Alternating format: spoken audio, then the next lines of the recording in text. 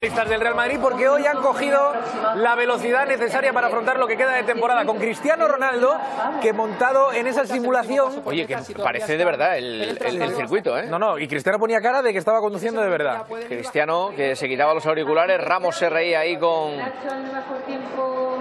compañeros del Real Madrid. Alguien había pasado, algo No, había no, pasado ahí, ¿eh? una bomba Una fétida. bomba fétida había ahí, sí. Alguien, eso no se hace ¿eh? No. hay pocas cosas peores que eso ¿eh?